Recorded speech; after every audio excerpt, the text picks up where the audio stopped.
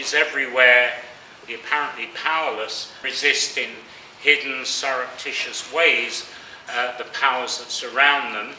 And Jim argued very provocatively, I mean, I think this is partly a question of intellectual generations or political generations, but he argued very provocatively that actually, if you add up all these small, daily, mundane forms of resistance, they improve the lives of poor rural people more than these occasional kind of headline revolutions and rebellions and so on.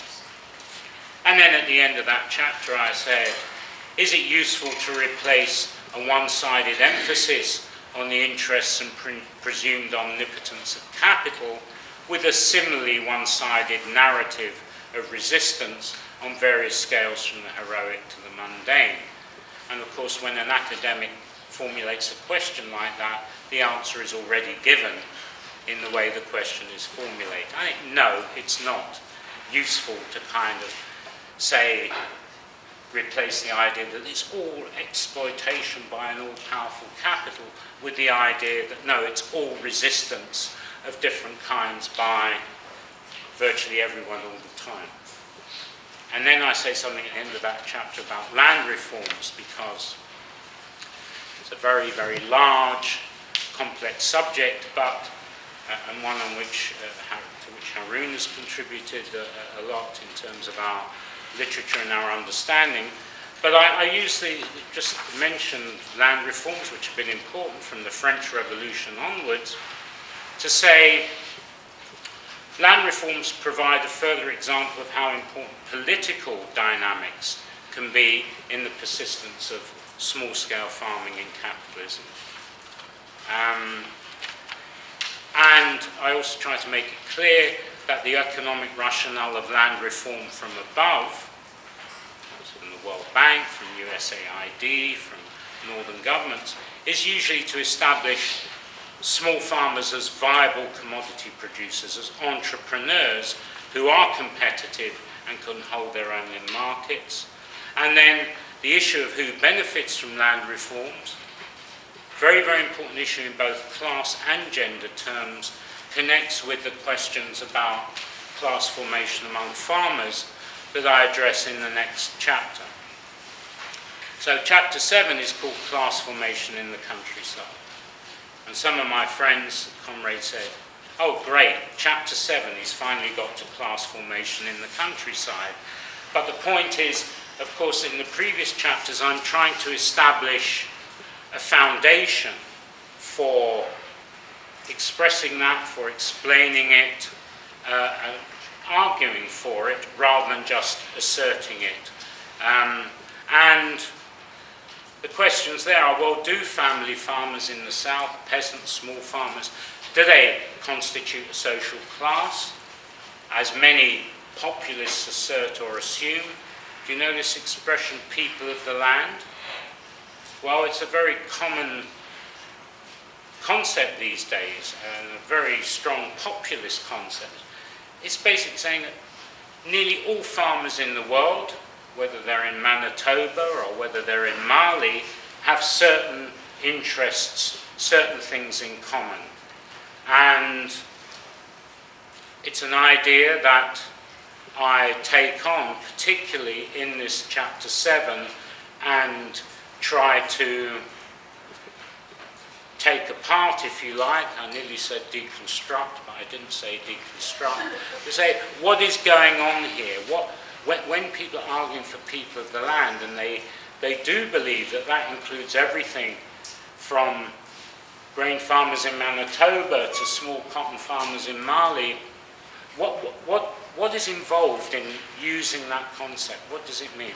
And I then provide a theoretical explanation which I've developed in my work that many so-called small farmers are actually petty commodity producers.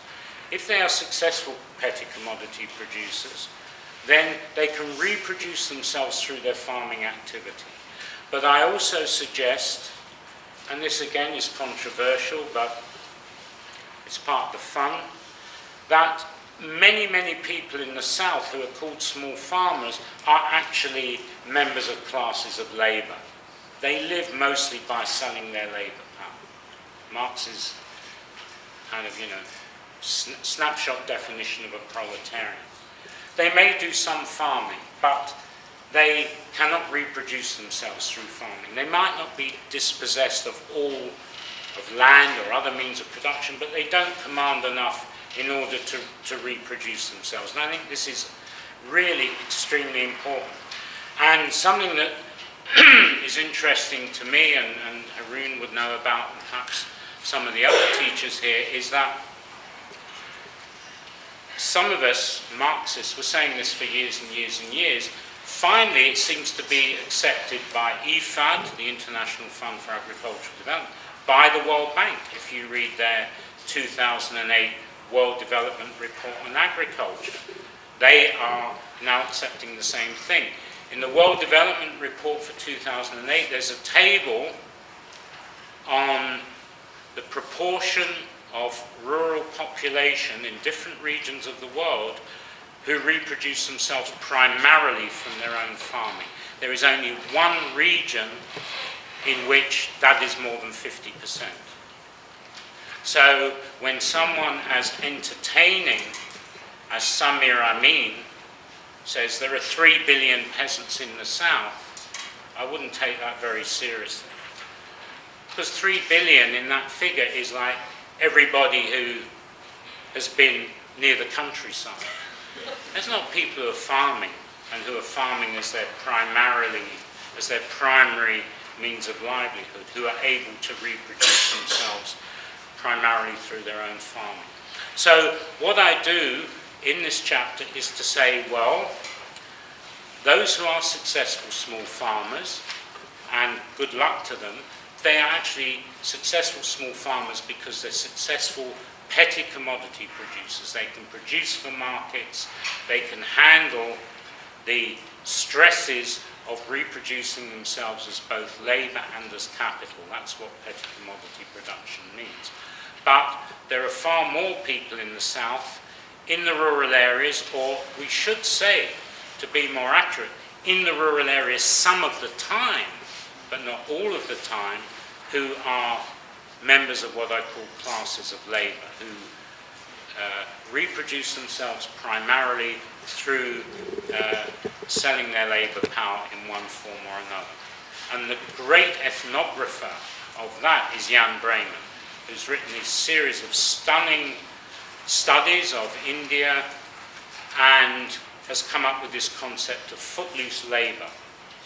A lot of so-called small farmers are actually footloose labour. Yes, in the village, part of the year, trying to plant a crop or trying to bring in a crop, or on labour migration and trying to get their wives and daughters and so on to, to do the farming because they have to. So it's also strongly gendered like uh, everything else. So the point of this chapter is to say, yes, there's a lot of diversity but because somebody does some farming some of the time, we shouldn't consider them a peasant or a small farmer in any very full, uh, full-blown, strong sense, and we need to look at how they reproduce themselves much more carefully. My last word on family farmers, again, this is a test students, it's a simple test. You, you, you can apply yourselves. If you're reading about this, when you see the term family farmers, ask yourselves, does this mean family-owned farms, or family-managed farms, or family-worked farms?